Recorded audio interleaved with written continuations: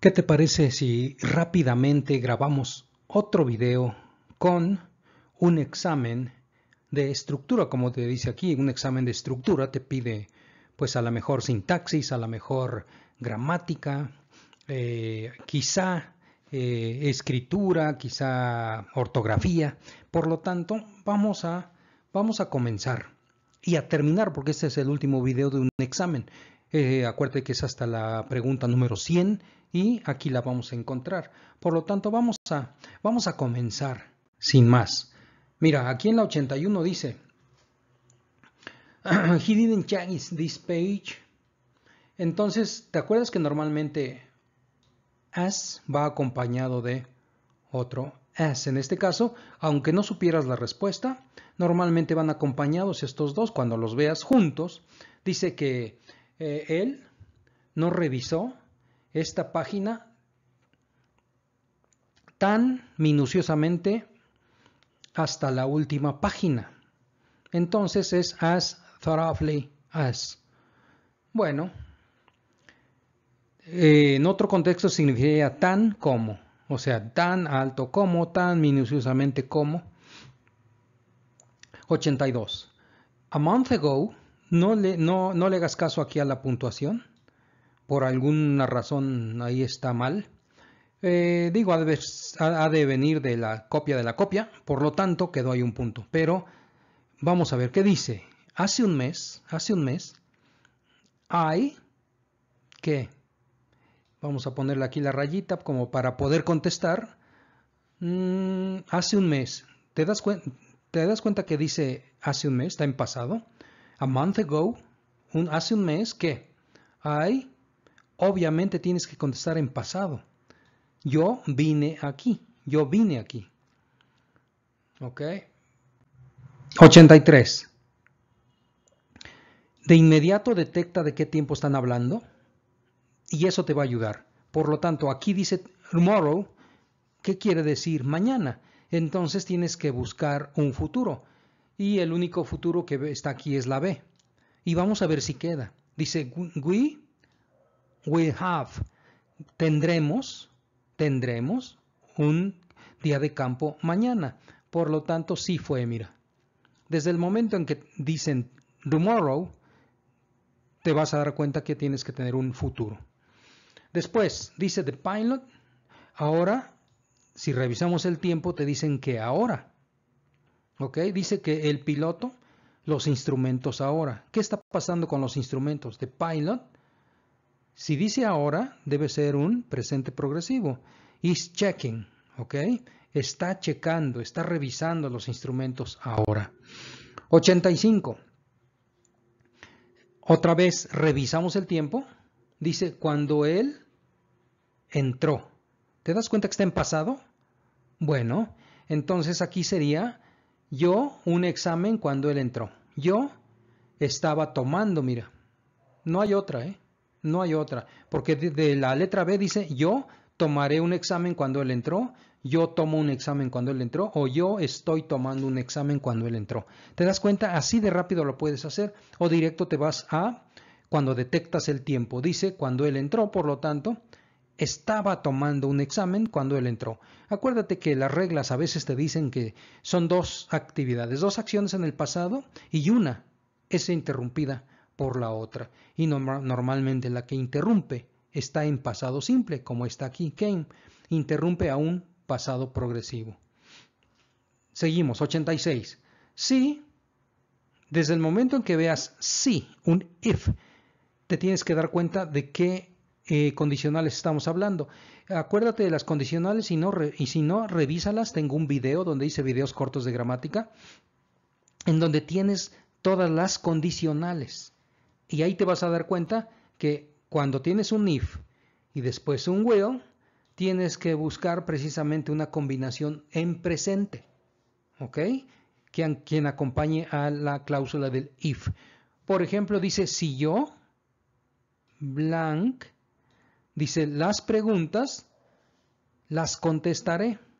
Por lo tanto, lo lógico es que tengas aquí un presente.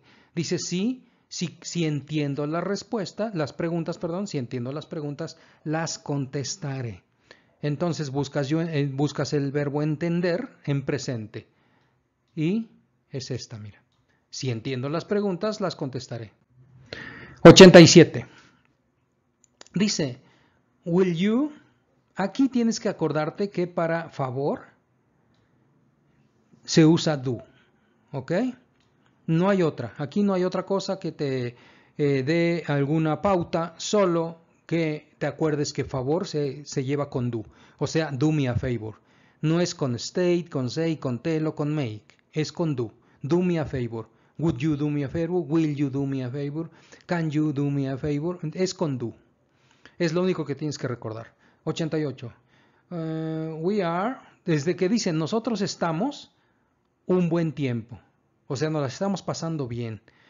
Entonces dice we are, desde aquí ya nos damos cuenta que es presente y tiene que ser un presente progresivo para que diga estamos teniendo un buen tiempo. ¿Cómo sería eso? Aquí está, mira. Estamos teniendo un buen tiempo, o sea, nos la estamos pasando muy bien. We are having a good time. Bueno, seguimos. Detectamos el tiempo y dice last night, dice anoche. Entonces buscamos un pasado. Dice otra vez, mira, un buen tiempo. Nosotros, blank, un buen tiempo anoche. Obviamente estuvimos, ¿no? Tuvimos un buen tiempo. Aquí está. Después, 90, please. Te das cuenta que cuando dicen please viene una instrucción, o sea, un imperativo. Por lo tanto, nosotros inclusive en español decimos, por favor, abre las ventanas. No hay otra más que esta que es imperativo. Open the windows, ¿ok? Ninguna otra queda. Eso es imperativo, por lo tanto, el verbo simple, open all the windows, abre todas las ventanas. Después dice en la 91, si dice hace mucho tiempo, ¿te das cuenta que dice hace mucho tiempo? A long time ago. He hace mucho tiempo. Él salió hace mucho tiempo. Él en este no queda porque live tendría que tener la S, ¿te acuerdas? Que si es tercera persona, tiene que tener la S, no la tiene, por lo tanto, tampoco. Este, él saliendo él saliendo hace mucho tiempo, tampoco. Él ha salido hace mucho tiempo, más o menos, pero que no te confunda. Entre más simple, mejor. O sea, hace mucho tiempo, cuando tienes algo que te dice del tiempo, tienes que elegir un pasado simple. ¿Ok? O sea, él salió anoche, él salió eh, el pasado jueves, él salió hace mucho tiempo. Es pasado simple. Después dice, desde el momento en que dice did, did, o sea, did he, el verbo que le sigue debe ser en forma totalmente simple. ¿Por qué? Porque ya tienes un auxiliar y este auxiliar te está diciendo el tiempo. ¿Qué tiempo es? Pasado. Bueno, acuérdate, después de que tienes un auxiliar, el verbo que le sigue es un completamente en forma simple, en su base form. Entonces, buscas el verbo en su forma base y es el único que está en su forma base es este. Por lo tanto, did he accept the invitation? ¿Aceptó la invitación? Y es una pregunta. 93. My roommate is. Dice, mi compañero de cuarto es. Y después, o está. No sabemos si eso está. Pero como vemos que le sigue un verbo, pues entonces es está. Dice un jet, un avión, ahora. Ya desde que está diciendo ahora, tienes que tener un presente progresivo, ¿te acuerdas? Cuando te digan ahora, quiere decir presente progresivo. Bueno, pues aquí está, mira. Mi compañero de cuarto está volando. ¿Ok? Un jet ahora. Después dice él, eh, eh, acuérdate que para decir pasear es take a walk. Es lo único que necesitas saber aquí. Aquí necesitas saber cómo se dice pasear. Es take a walk. ¿Ok? Entonces, en el campo, mira. El blank, un paseo en el campo. ¿Cómo dices dar un paseo? Bueno, no puede ser la A porque le faltaría la S. ¿Te acuerdas? Bueno, entonces se va. He did a walk, nada, es una Nonsense.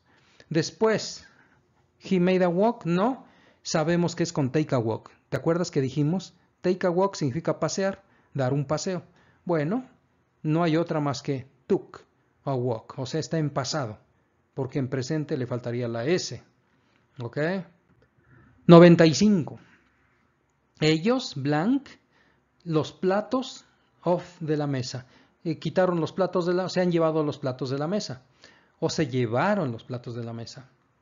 Mm, por lo tanto, ellos se han eh, llevado los platos de la mesa. Ellos, esta no, esta no porque tiene has, por lo tanto no, porque es they. They been, ellos estado, tomado, no. De ellos taken, ellos tomado los platos de la mesa, no. Por lo tanto, la única que queda es ellos se han llevado los platos de la mesa. Y dice, why don't you wait until she? ¿Por qué no te esperas hasta que ella? ¿Te das cuenta que está en presente? ¿Por qué no te esperas hasta que ella? Tienes que tener un presente, obviamente conjugado, tercera persona hasta que ella venga. ¿Por qué no te esperas hasta que ella venga? Después dice, I am going. ¿Te acuerdas que aquí, no se te olvide nunca, la patita que le sigue aquí es I am going to. ¿Te acuerdas que es I'm gonna? You, he's gonna, you're gonna. So, I am going to. Esa es la estructura que te debes aprender. I am going to. Es el verbo be going to. Be going to. Entonces aquí le falta un to. ¿Qué quiere decir? Muy sencillo, que aunque no sepas qué quiere decir toda la oración, lo único que buscas es un, la patita que le hace falta al going, que es tú. ¿Ok? I'm going to. Estas son fáciles, ¿sabes por qué? Porque una vez que estás seguro que le falta aquí, ni, la lees completa y ahorras tiempo. De inmediato vas a buscar donde tenga tú. I am going to y es la letra C. Sin importar que aquí diga voy a comprar alguna loción de rasurar. 98. Dice, we, nosotros, dice de Tom. es oír de Tom que el trabajo de reparación fue excelente. Entonces, ¿qué crees? Mira, dice fue excelente, quiere decir que está en pasado. Y quiere decir aquí el verbo oír. ¿Ya te diste cuenta que todos son el verbo oír? Bueno, entonces sería nosotros oímos de Tom y buscas oímos, el verbo en pasado. To hear no está en pasado, hear no está en pasado, heard la dejamos pendiente y hearing está andoendo. Bueno, pues no, la única que está en pasado es we heard. Oímos de Tom que la el trabajo de reparación fue excelente. Después dice he. Desde el, te das cuenta que dice he, tercera persona. Después dice historias interesantes. ¿Qué te están pidiendo? Simplemente un verbo en presente. No hay ninguna forma en que pueda indicarte que está en pasado, en futuro, en progresivo. No hay ninguna. Por lo tanto, inferimos rápido que es en presente y buscas un verbo en presente, el verbo decir en presente. Y como lleva stories, lo único que te puedo recomendar que te aprendas de memoria es que es con tel. Tel, y como es he, pues es tells. ¿Ok? Entonces, letra A. Y aquí es muy sencillo. Simplemente recuerda que para decir contar cuentos es con tel. Por ejemplo, en este caso, stories es con tel, no con say. Say es decir y tel es contar. Por lo tanto, te podías confundir con la letra C. ¿Te acuerdas por qué? Porque tiene la S y aquí tiene la S. Bueno, lo único que te podría sacar del apuro es acordarte que tell es para stories. ¿Ok? Eh, acuérdate los que llevan tell, como por ejemplo tell stories, tell the truth, o sea, decir la verdad, tell a lie, decir una mentira. Bueno.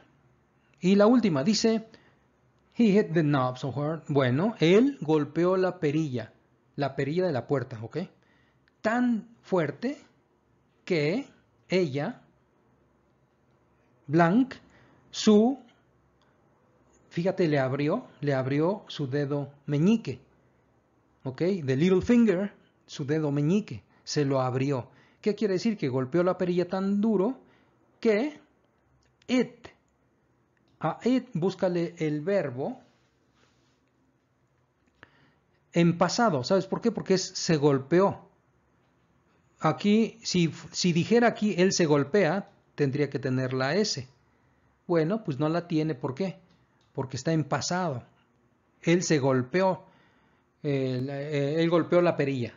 Tan fuerte que ella, la perilla, le abrió. Por lo tanto, como dices, eh, eh, en pasado sería esta en pasado. En presente sería la letra C, pero no, sabemos que está en pasado. Entonces le abrió su dedo meñique. Y con esto terminamos este examen de 100 preguntas y eh, espero que sigas practicando. ¿Te das cuenta que es sencillo? Es sencillo, nada más ahorra tiempo con las que conozcas, contesta las más sencillas, eh, entre más rápido contestes mejor, como te acabo de poner un ejemplo, una vez que detectas qué es lo que sigue, eh, de inmediato lo buscas, ni, tienes por qué leer toda la oración. Pero si es necesario, léela, no hay ninguna apuración, ningún problema. Lo que sí, eh, vas contratiempo. Entonces, nos vemos en la próxima. Recuerda entrar al canal por listas de reproducción y nos vemos en la próxima.